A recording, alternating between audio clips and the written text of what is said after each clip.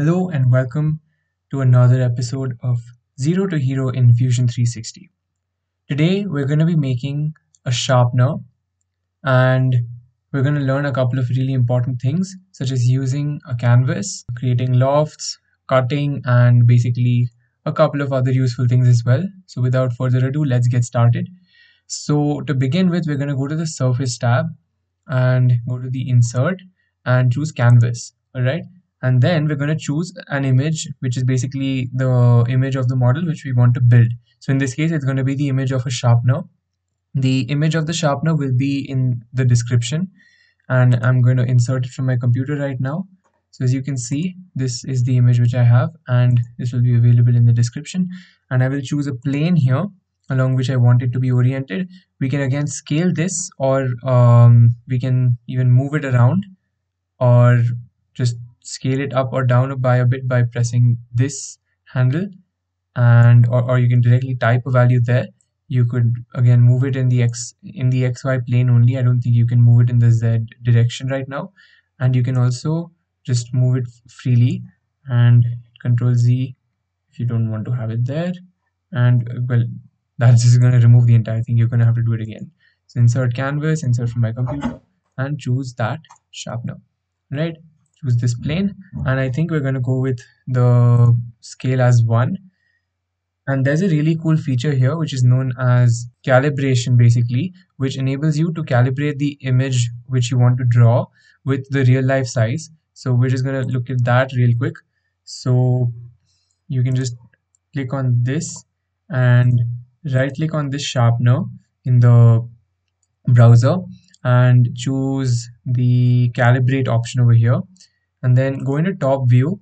So what we do here is we basically choose two points and tell the program that is we tell fusion how far apart those two points will be in real life and then it will basically rescale it accordingly all right so i'm going to choose a point around here or, or maybe around here and another one over here. And so i actually measured uh, sharpeners Um, in real life a little while back. And 2 centimeters is definitely a, a good value. We could even make it a little bit larger because most sharpeners of this design tend to be around 2.5 centimeters in length. So i'm just going to type that in here 2.5 centimeters and hit enter. And you will see it will basically scale the image accordingly. All right so and, and this image is going to be our framework or our skeleton along which we're going to draw. All right so now let's start with a sketch so what we're going to do now is we're going to create a sketch which traces the outline of this sharpener and then we're going to use that to create the complete 3D body of the sharpener and then add all the details like this hole in which the pencil would go in, the screw hole and the blade. So let's get started, right? So that's a sketch. I'm going to use a line here and try to get it really close to the actual line. As you zoom in, you will get to see more and more grid lines. So I've zoomed in quite a bit here, as you can see, maybe even some more if required. But i mean it's honestly not you don't need to be picture perfect precise. It just needs to be like a decent looking image. That's it. It doesn't need to be perfect. And yeah if you want to draw along straight lines have this option snap here turned on. Then it will snap it to straight lines and and to basically the nearest grid point. And i think i'm going to stop here then yeah so now you can see it's going to try to draw another line from here. We don't want that. We want to draw one from here. So i'm going to hit escape on the keyboard. You can use line then again. Just click on this and then start again. And I'm going to keep it here. Now I can continue because I don't want to uh, start from a random point. It's a continuous drawing now. So that and again we have to zoom in here to get the exact position. So do that. Then click here again zoom out if you want. And make sure that that blue line up there is visible so that you know that it's in the same line as the previous part of the sharpener was so that it doesn't go awry. And then again continue drawing. Um, if you want to move you now is the best time to have a mouse because then you can easily move it using the middle mouse button and drag to move to a different view so that you can bring everything which you need to see back into view. And I'm going to stop this right here and again drag this all the way down here. Make sure that it's in the same line as the other one which you had drawn. And right now it is because it's I had made it on a grid line so this will be fine. All right now I can again hit escape and that will stop. All right so i have created this profile. Now you can see here this is a bit of a curve and we have made it a perfectly sh uh, sharp edge. So if you want to add that you can either use a fillet or when you're drawing itself you can use a tangent curve. I'm going to show you the fillet. All right so you have to bring it here and then choose the radius. You can just drag it around and get it and make it what you want it to be and then hit enter. Or if you want to add more of them then you can just zoom out using again I'm using the scroll wheel drag it and using the middle mouse button and then choose this one. That's going to choose the exact same radius as we had chosen there. So that's again going to be 0.07 centimeter or um, 0.7 millimeter whatever and then hit enter to finish the fillet. All right so that's going to create this kind of a shape. Now maybe you may even want to add a fillet here and here. And again it's pretty much the exact same thing just click that and you'll have to choose the right value. As you can see this has taken 0.017 because this uh, corner is quite small. You can make it larger but that's just gonna do this weird thing. So keep it something very um, close to the actual drawing and then it'll look more realistic as well right? And same thing on this side. Apply it here and 0.02 seems all right. And as you can see here this line is not perfectly in line with the image. So if you want to move that just click this point and drag it right? So it'll move it around with every other all the remaining geometry intact. It won't really affect it but this is not recommended because it can sometimes lead to unexpected results. So i wouldn't recommend it. Like for example if you move this line it's no longer in line with that one. So not a good idea. I'm going to hit control z to undo that. All right and yeah that's that. Now do the same thing for the bottom. Use a line and we will again. Now we will try to make it in one continuous stretch. So i'm going to start from this point and end at the same location on the other side so till here approximately maybe just zoom in a bit that's not yet it. Maybe till here right? So that's it. Then zoom out a bit so that you can again see the rest of it in view because it doesn't make sense to really have half of it in view right? I think that's fine but I'm gonna zoom in to make sure. Again not exactly. So another grid point up. This looks all right. We can move it probably later if required. This seems fine and then we move it to the top zoom out drag using the middle mouse button and make sure that it's again in the same line as the other one. Now it's not going to show you a blue line so you're going to have to really try and get this right without messing it up right? So I think around this location but just to be sure I'm going to draw a point here and then I'm going to try to move it to that side and see if it still makes a straight line it does say 90 degrees so I think this is a perfectly straight line. I think we've hit it right on target. It's perfectly in line. And so I'm going to escape and and I think we're done. So we have made both the sides. However this was done completely by eye. It would have been a much better idea to have chosen a grid point to start that line and uh, or maybe one line below like over here. That makes it perfectly exact and doesn't leave out any room for error. Right so let's fillet this we'll do that. And here as well. And it'll use the exact same radius 0.075 centimeters and hit enter. I mean in fact you might want to use the exact same radius as we had used above which is 0.07 by the way. So consider that because you want it to look symmetrical ish at least. And that will set both of them to 0.07 now all right so that's that. Now to build this um, wavy portion we're going to use a spline all right so now this spline will actually come in handy. So yeah zoom in right here and begin. So start from here. Draw a point randomly. Again now it might be a good idea to turn off the snap tool because that's just going to come in your way rather than actually help you out right now. So yeah choose a point here and it can actually it can intersect right now. Like for example this is currently intersecting but as you drag it around it will basically morph into shape all right because this is a spline and it, it basically follows the points at which you have placed the it's a fit point spline so it follows the points where you uh, tell it to right? So that's that. Then here basically go for the tips and the valleys in each of these bumps. It's going to take a bit of time because there are quite a few. So I'm probably going to skip over this part. All right, now we've come to the end.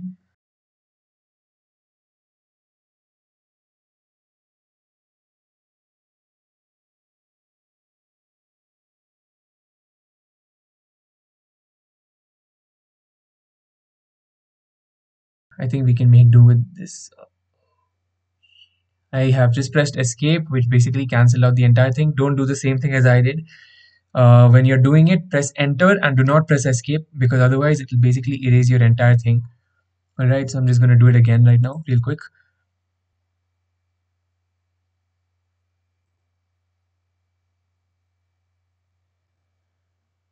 Right, so now I hit enter and not escape and that gives me the perfect set of splines.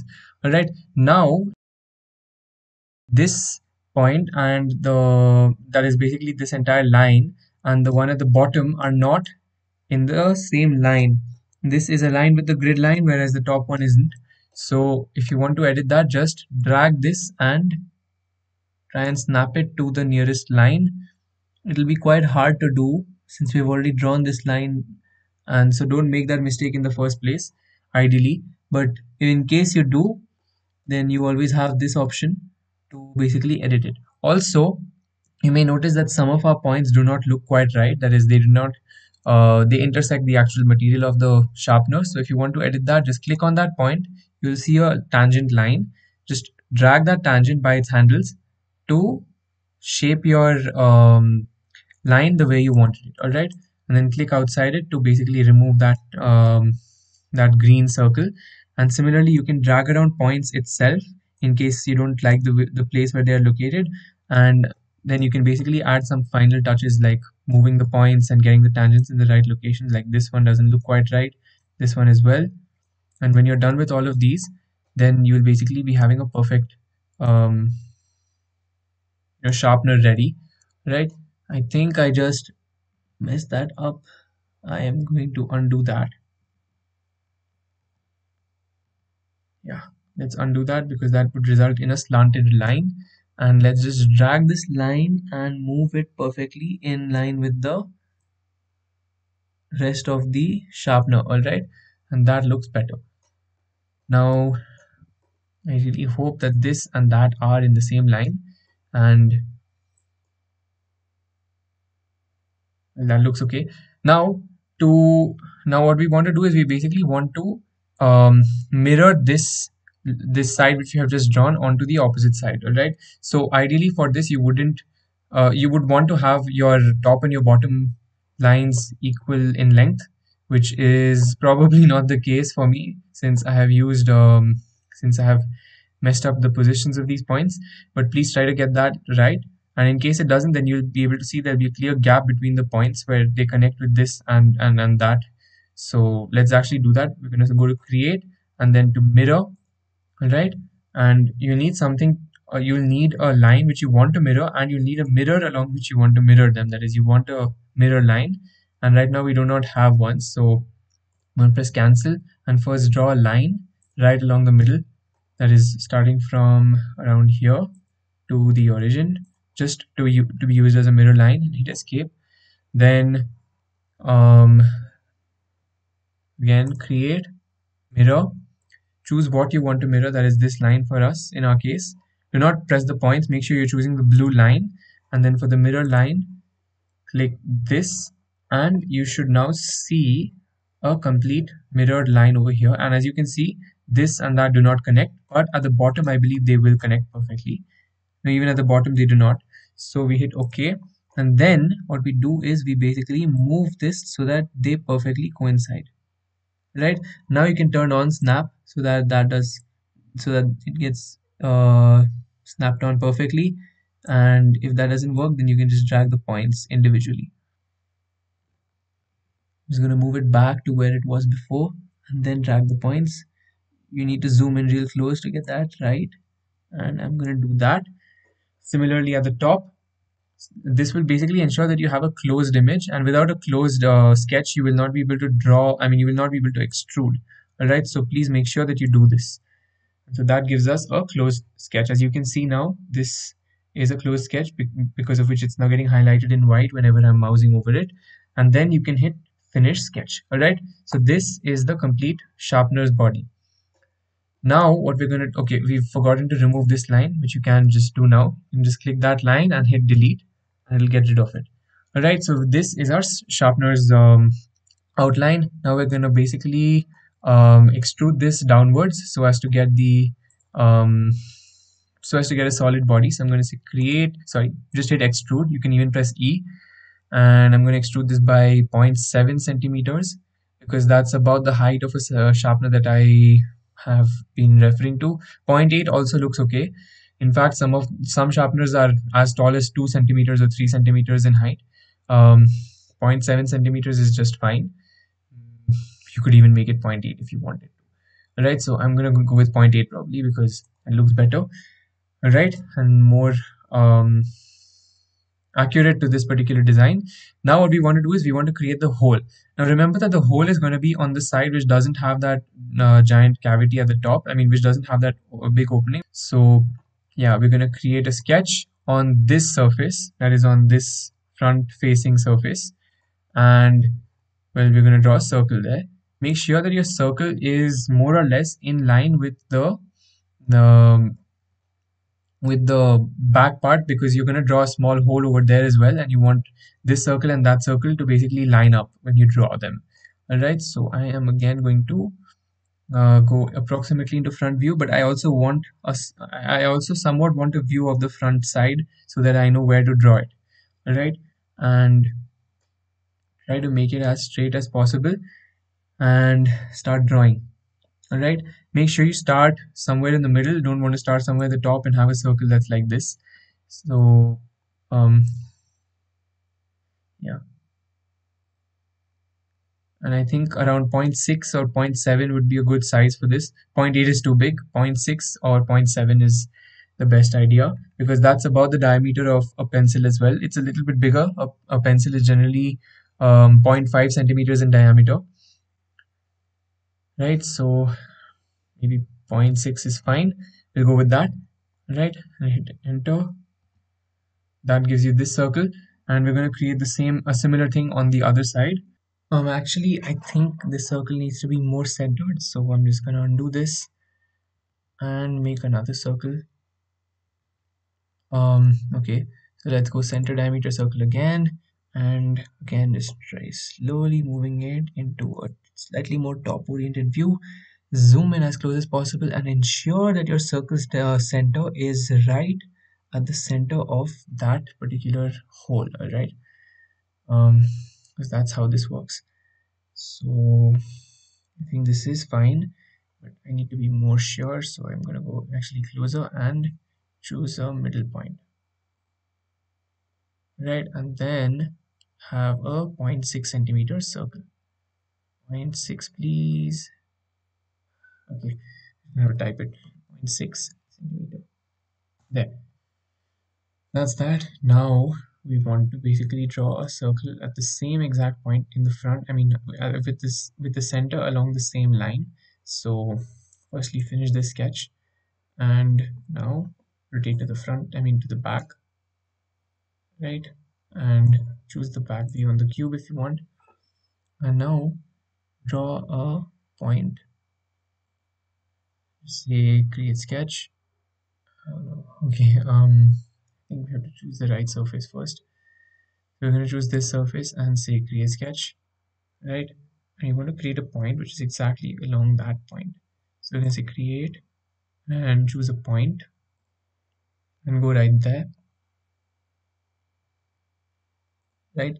And then create um, that's just a point. We're not going to actually use that. We're going to draw a circle on, along that line but a little bit higher up.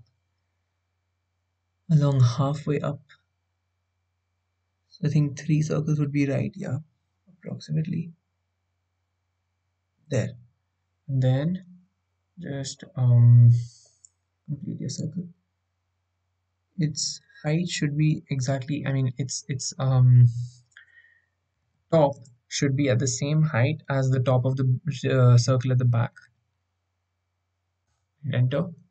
That's going to give you a circle like this. Now ensure that the circle that you've drawn here is perfectly aligned with the center of this particular this cavity right over here right because that's how it is in gel sharpeners. And if it's not then you're going to have a bit of a problem. Anyway so now we're going to basically choose this complete circle as one of our we're going to firstly finish the sketch then choose um, create followed by loft. And this is going to be one of our lines I mean one of our complete profiles. This along with its other part which is currently not selectable we have to rotate a bit and get right to it there. Right and then um go to the back? Select this one. Right. We don't want this rail. Just cross. And we have it. So press ok and we have a hole for a sharp for a pencil to go into. Right. That's how it's to look. And I think it looks all right now what we need to do is we need to ensure that this circle is basically right along approximately along the center of that particular hole because otherwise it's going to create all sorts of problems. So now what we're going to do is we're going to create the top the, the a trace of the top part. And yeah let's go into top view and say create sketch. Choose this particular uh, body like choose this particular sketch itself. That is a sketch of the uh, sharpener that we created earlier. And then choose like the two point triangle which we're going to use to create the blade. Once you're done choosing a corner always zoom out because that enables you to work a lot faster. Go to the bottom and then again zoom in maybe and choose a point which you think is at the corner of this complete mechanism there. And now you can add a bit of fillet if you want. I'm gonna add it to this corner at least. So fillet and well choose that. That does it approximately right. A little bit less maybe. Yeah. And say finish sketch. And that's the sketch of this particular blade. I shouldn't have pressed finish sketch sorry. Then I just hit control Z and we're back into the sketch and now we want to create this complete um, this complete gap that we want to create. So again choose line and start from this point since we already have it. Go all the way till here. Approximately where the top part starts.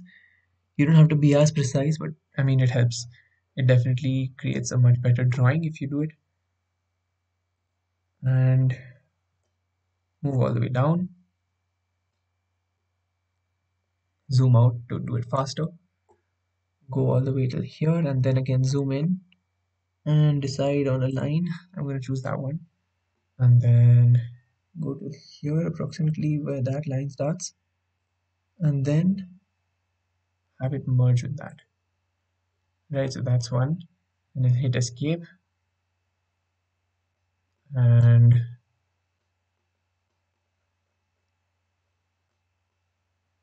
now we need to complete this at the top. So let's create a line again starting from here. Zoom in. Go to here. Then again resume. And go all the way to the top. Right? Don't click that tick mark. That's basically nothing but the finish sketch button and that's going to leave you in a bit of trouble. That's it. Right? So that's our third thing. And then hit escape. That's going to create these two separate parts okay so this is the blade part and this is basically the cavity part I mean at least that's what I want to call it right so that's that and now um, we have at least the top view of the sharpener. Now also remember to draw the circle for the screw. So we're going to say a center diameter circle and go approximately to the center of this. I mean, I honestly don't know where it is, but I'm going to kind of approximate it. It doesn't need to be exact, obviously, because that image, no one's going to be able to see it after the actual um, sharpener has been made in 3D. So that's done. And then we say finish sketch, right? and now you can actually remove this because we have all of the all of the lines that we really need to create the sharpener now what we want to do is first we want to make this blade um, go down a little bit and then make this part go down a little bit more than the blade has gone down. And then what we want to do is we want to make the blade um, appear really sharp. So let's get started. So first we're going to choose this face and choose extrude and go down not up and do remember to choose the sharpener. As I mean you can actually cancel that. That's going to look like a proper screw if you don't do it. So move it down. Minus 0.1 looks almost looks about right actually. But don't do it right? Um that looks better. And then again unhide that. Sketch 4 choose this And then hit E and make it go down all the way. All the way in the sense it should be uh, you should be able to see the hole from the front. It should be now visible. And yeah that's pretty much it. And from the bottom as well it should be visible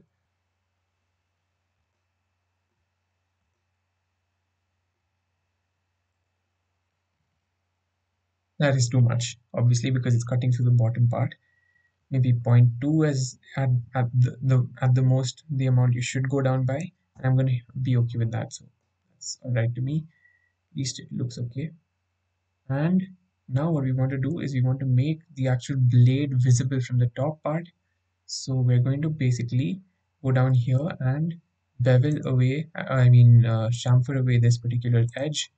So hit chamfer and in general tangent chain and uh, will be turned on and this chamfer type will be kept as uh, equal distance. I've changed that to distance and angle and turned this one off right? So then um, that basically gives you much more control over the chamfer like this. So you can choose the angle at which it's going to happen. Right now it's 45 which is not what I really want. I want it to be a much um, more gentle angle. And happen much closer to the top I mean, I think even 45 really is fine. Even 60 is fine. That's the original, and this is how it would look after the chamfer. You basically see a really sharp blade in this case, and that's exactly what we want. We want a really sharp blade for our uh, sharpener. So that's all right, that's okay. And then we go to the top, right?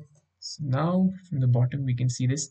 However, we still cannot really see a proper um, you know color. So let's add some color to this. And also now we can hide this sketch 4.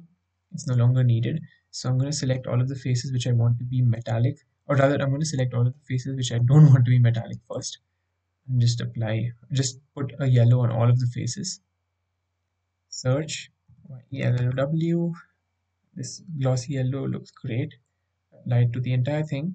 And now to all of the surfaces which I don't want to be yellow I'm going to select them one by one with a control button held down. And move around if required a little bit not much though. And select this face control button still held down. And there's this tiny sliver of a particular edge maybe over here. No not really. Right so that's that let's apply this steel to it.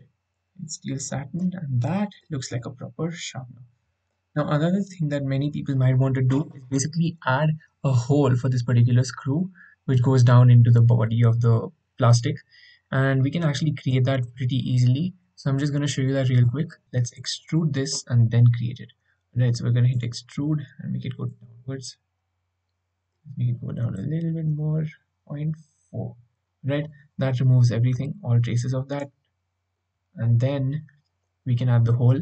So let's go here. Hole. And now we can literally choose anywhere. So now it would be a good idea to have our sharpener's image over the top view. And just select a point pretty much and choose the right location. Make it a bit bigger or smaller as you want. You can zoom in and do that. Um, right? And you can actually change the size here by increasing this say 0.25 that's going to be its diameter. Oh no that's its length sorry. Um, the diameter can be also changed. Um, right, so this one but I think that's fixed because we're using a very specific isometric profile. You can actually change it using this stuff. So 1.4 millimeters is going to create a bigger screw hole and so on. So those are basically standards compliant and then you do that. You can see the where exactly the hole is. And then you can actually construct a hole with like proper threading and everything and that's what it has done. You can see there's threads in there. Hit ok that's going to create a proper hole there. Right so that's that. This was the sharpener tutorial.